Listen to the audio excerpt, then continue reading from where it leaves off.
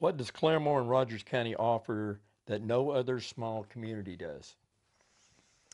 I think the welcoming spirit of the people, whether it's church or stores. I mean, I know all the people in, in the grocery stores, and a lot of them in Walmart, and that's a big place. And uh, they're all friendly. It, it, the people are just friendly. I know you are volunteering to help with the interviews for the Museum of History's Voices of Claremore. Why do you think the Claremore Museum of History is important? Oh, I, I worried about what was going to happen to Judy Eagleton's stuff.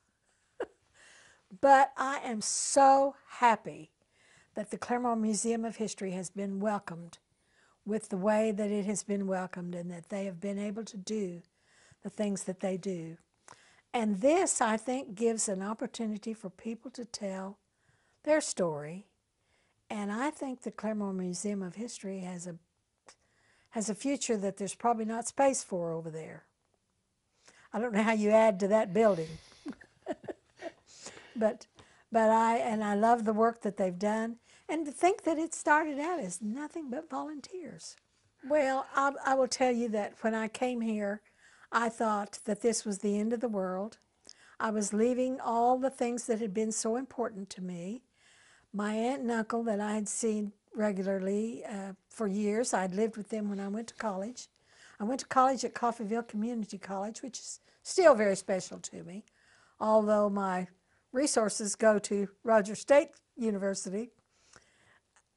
I, I am so glad that I accepted what was waiting for me here.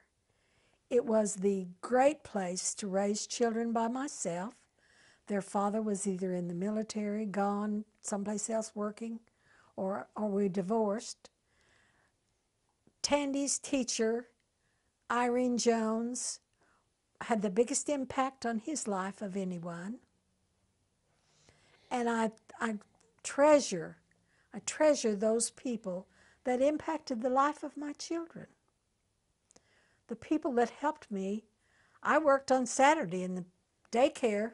Mildred Warden took care of my kids from the beginning, but she wasn't open on Saturday, so I had to forage around for daycare on Saturday.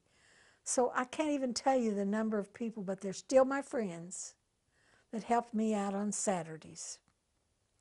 And I don't know that there's any place else you could get that kind of of love.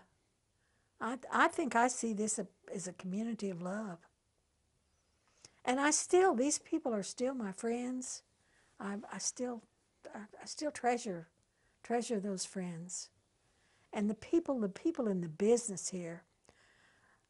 The first person I met here, and I think I'd have to give him a lot of credit for what happened, but the first person that I met when I went to work at the Claremore Progress was Richard Legate. And if there was anyone that could tell you all the wonderful things about Claremore, it'd be Richard. And he became my very closest friend. And we saw each, we had coffee every day. He and his wife were, if my kids were involved in something, they were there. If their kids were involved in something, I was there. And I love their daughters to this day and they loved my sons and looked after them just like they would of their own children.